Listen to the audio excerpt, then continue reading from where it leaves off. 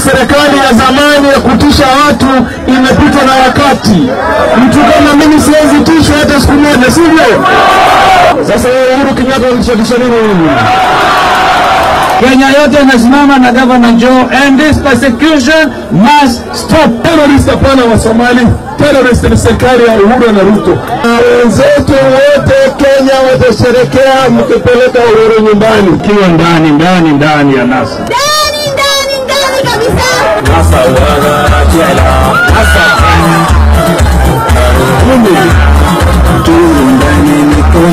Tunataka NASA iwe kama matiti ya mama, ipeane uhai kwa Wakenya ambao wamedhulumiwa, ambao wanaumia na bei mbaya na serikali mbaya ya Jubilee. Kenya hii vile Jubilee wanavyoendesha ni wazi kwamba hawana nia nzuri. Wakati wa ukombozi ni sasa. Hiyo kura ina maana kwa sababu ndio kiboko itapeleka Uhuru nyumbani. Hapa tumekuja kama NASA, naona Kalonzo, naona Msalia, naona Weta na Baba.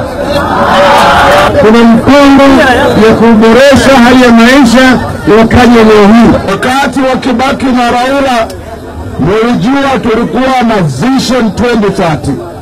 Tangu Uhuru aingie, sijamsikia akitaja Vision 2030 hata siku moja, na hiyo ndiyo ilikuwa ndoto ya kujenga Kenya na kutoa umaskini.